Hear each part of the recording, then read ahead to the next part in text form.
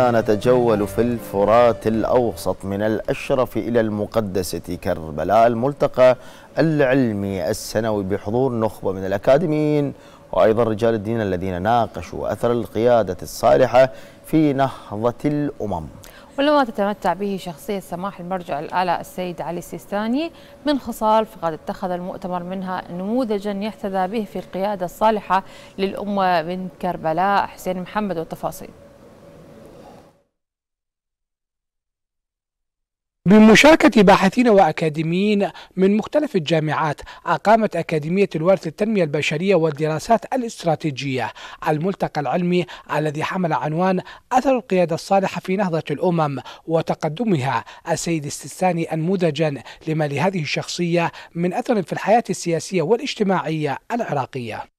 اخترنا سماحة السيد السيستاني نموذجا لإدراكنا العميق لعظمة هذه الشخصية التي جسدت الماضي والحاضر ونقلت لنا رسالة الأنبياء سلوكا وليس فقط قولا أضاف إلى ما تركته من أثر على بناء السلم المجتمعي فباتت اليوم قيادة عالمية أسست لأسس حقوق الإنسان أسس احترام الآخر. هذه الموسوعة اليوم من خلال هذه المحاور سوف تكون منطلقاتها يعني شقين. الشق الأول هو من خلال مؤتمر دولي سنوي يعقد في كربلاء المقدسة يتناول الشخصية العظيمة من خلال هذه المحاور. والأمر الآخر اللي هو الموسوعة التي سوف يعني يعتمد باحثين متخصصين في كتابة هذه المحاور من أجل تغطية يعني الذي لم يتناول في المؤتمر. فبالتالي راح تكون العملية متكاملة.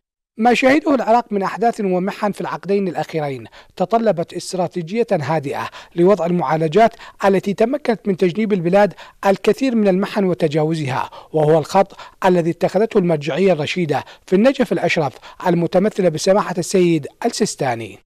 أزمات الموظفين أزمات العشائر أزمات الأطباء أزمات المعلمين تدني مستوى التعليم الأمية كل هذا مرصود أسبوعيا ومن ثم جاءت الانتخابات وأشار في أجندة هائلة من من المعاني والمفردات على أن لا تنتخبوا بشكل سريع.